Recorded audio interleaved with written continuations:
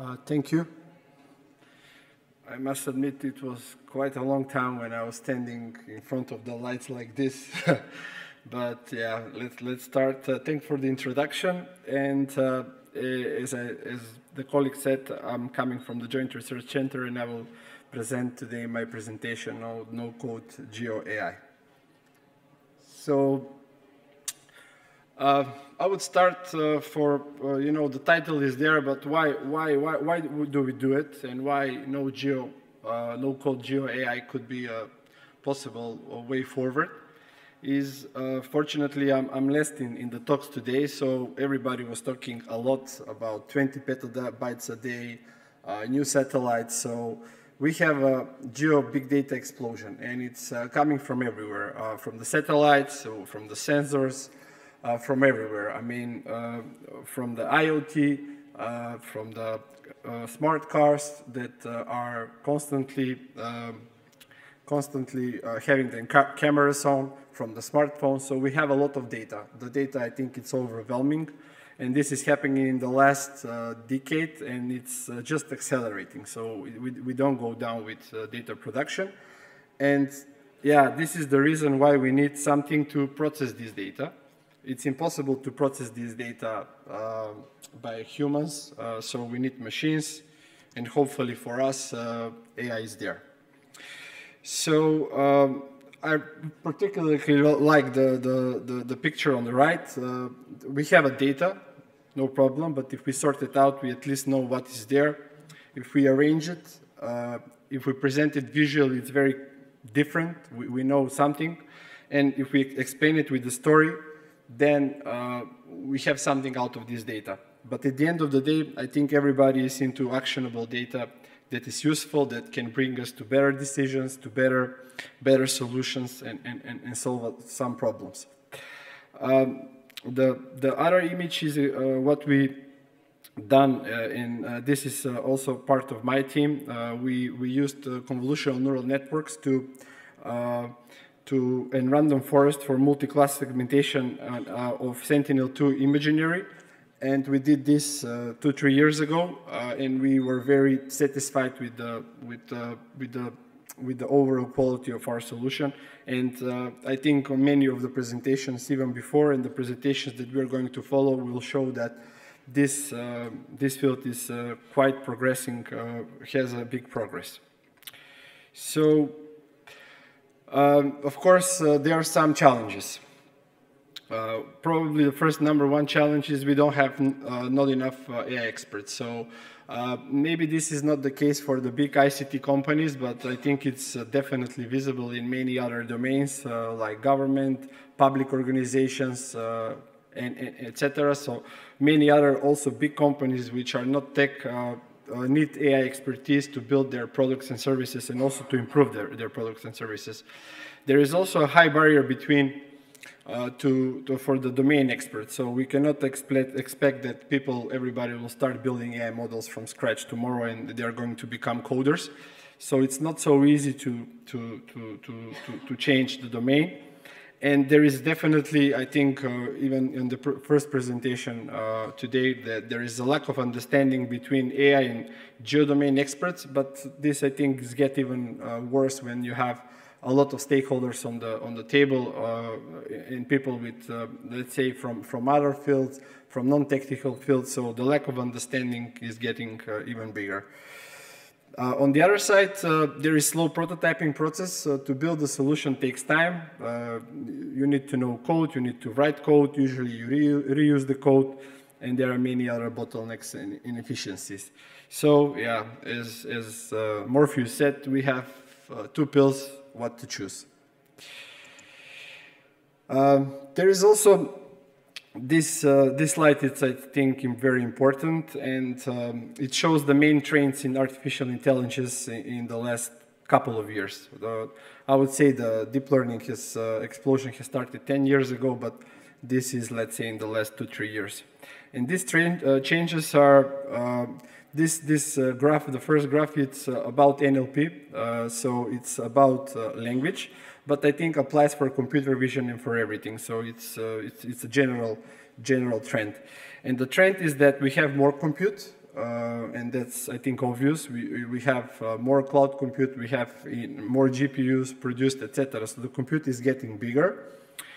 Uh, on the other side, we have bigger data sets, and as I, in the first slide I said, it's not only the data sets, now we have variety of data, and we are building bigger and bigger models uh, for, for just to, to, to say that at least in NLP, the, the models for, I don't know, uh, five years were in million, billion, three years ago. Now we have trillion parameters models. So the, the scale is really almost exponential.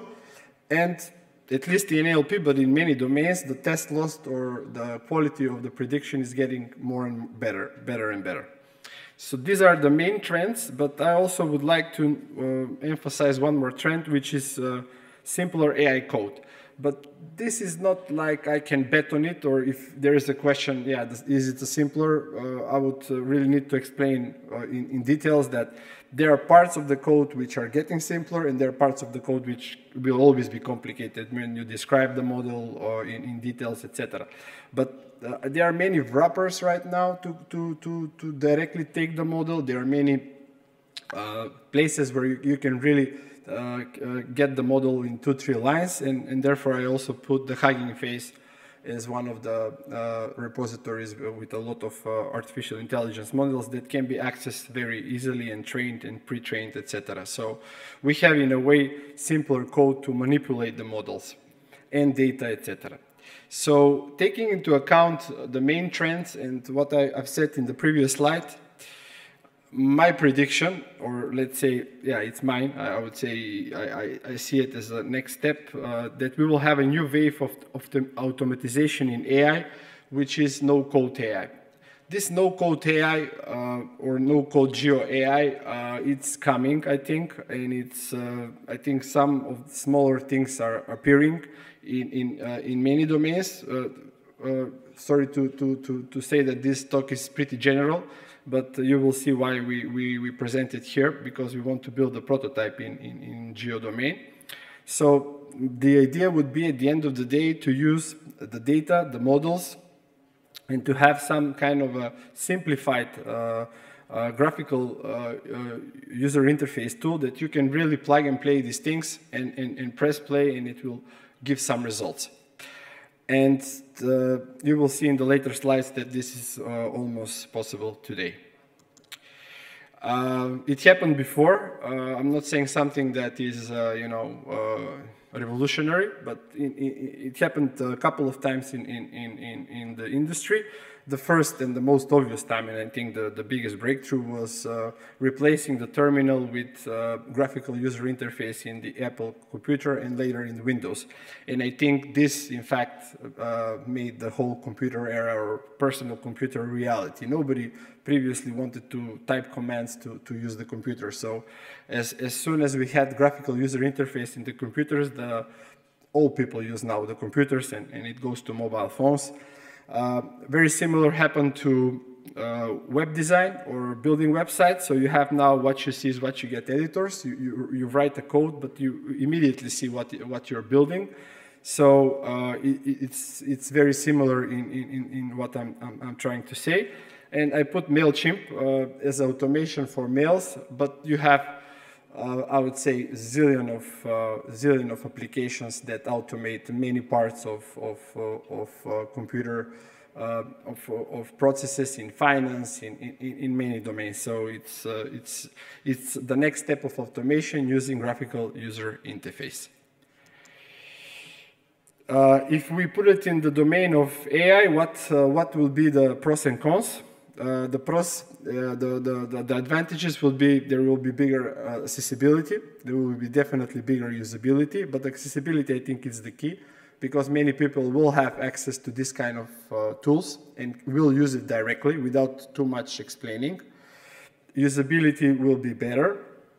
Uh, speed in developing uh, uh, solutions will be also faster because you can plug and play the, the, the things and, and, and, and, and, and uh, build a solution with, let's say, uh, fast, not, not so slow. they will be portable and interoperable by design. So these kind of systems need to be portable, interoperable to, to, to talk to each other and to, to, to, to, to be easily ported. Uh, and uh, let's say uh, also our democratization of uh, AI. I mean, uh, now uh, we don't have too many people building AI. Okay, we have a lot of people using AI, may maybe not knowing about it, but in a way, uh, for the people that build it, it's not so much. But in this case, we will have a bigger percentage of people that at least can see what the technology is capable of and, and can also uh, see in reality how it looks like, at least on a higher level. And also it will improve communication because if people know more, they will at least understand what they're doing uh, or not understand what they're doing. That's, that's a different story, but I think in the end it will improve uh, knowledge and communication and it will be a big boost of productivity, that's for sure.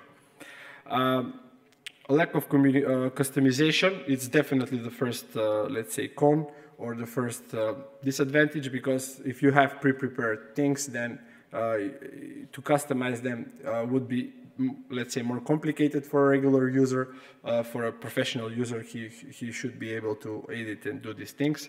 Number of templates uh, you can put some workflows but uh, if you don't have enough or, or there are very few or they are not covering something yeah, it's it's definitely something that will be a problem, and uh, maybe in a way uh, you will have less understanding because people will use things that maybe they don't understand that uh, that much.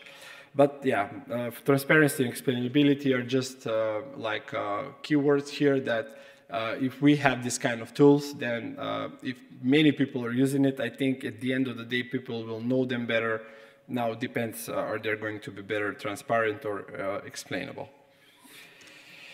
So uh, what we try to do is to, to, to make a research, uh, and these are the research questions. First to see uh, what is out there, uh, no-code AI, auto-ML, low-code AI.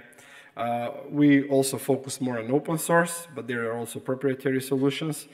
Are there general? Are there specific? What's the software stack? Are there similarities and differences? And uh, how this idea can be implemented at the end of the day in uh, data spaces, uh, EuroGEOSS, uh, AI for EO, and at the end maybe MLOps.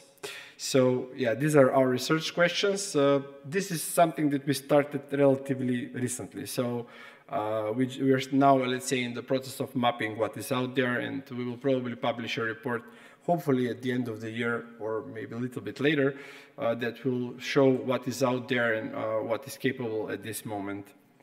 So fortunately for us, uh, there are a couple of uh, startups that uh, that are emerging in this area and they are, build, they are writing very nice blogs explaining who is doing what. That, that's very nice.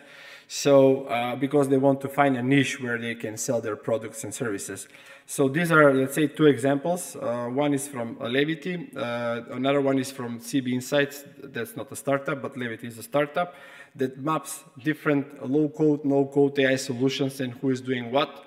And uh, yeah, these are the basic for the analysis, but we also will use a couple of other data sources to, to, to find all the, the, the key players. I also must say, because I, I was doing this recently until previous week, the big uh, companies, uh, Microsoft, um, Google, and Amazon and Apple already have this kind of tools available in a, in a, in a, in a way. Uh, but there are also many, there are also uh, startups and, and uh, medium-sized uh, companies. yeah, this, this is just an idea that we have to, to, to build a prototype, hopefully maybe next year. Uh, the most important tool would be Ludwig, uh, which is an open source tool and it's a declarative machine learning framework. In a nutshell, you really write uh, slow, uh, low code commands which replace uh, bigger codes and with this you can describe the whole machine learning pipeline and you can build a model and it, it really it's not a big it's not a big code that below has a lot of code and it's pretty famous on GitHub. Uh, we also compare it with other tools, but it looks very, very promising. Horovod is to distributed training, and uh, the previous speaker was talking about Ray. We, we will think about Horovod or Ray, we will see. But I put on, the, uh, on my presentation Horovod uh, for, for distributing the task on many machines uh, to run in parallel. And yeah, this is the initial idea, maybe things will change, uh, but we also will use some kind of visual editor uh, to build the, the, the, the modules uh, that uh, will describe the code. And uh, yeah, the potential impact, this will, we foresee potential impact in GEOSS, uh, uh, initiative uh, because as, as I, I, will mention again, we, we will build the prot first prototype in, in the geospatial domain because the team knows quite well geospatial domain, so it's not so difficult for us to build it and test it idea there. And also our main project is in geospatial domain, so uh, it will have a definitely impact on GEOSS, but it will also have uh, impact on uh, data spaces, uh, which is a big uh, initiative for the European Commission and European Union, and uh, we will probably have some connections with AI for EO in the future as we build something and we, we made the reports. So just uh, short conclusions. We identified a lot of solutions. As I said, uh, Amazon Web Services, Azure, and Google have, have their own tools already. There are some promising tools uh, uh coming from Hugging Face, but Ludwig and Horovod from Uber are very interesting. Apple has its own, which is called Trinity. Trinity is in geospatial domain, but they also have a tool for, for building uh, low-code, no-code AI in, in Apple, but they don't have too much publication, so that's a problem. Uh, and as I mentioned, it's quite widely applicable. And uh, first prototype we'll be using uh, in, uh, we're building it in GeoAI using all open source technology. So yes, this is more or less my talk and we are open for collaboration on this idea. And uh, today was a great to, to also listen to the previous presentation, in fact, which gave me a lot of ideas what we can uh, implement from them. And this is it. Thank you.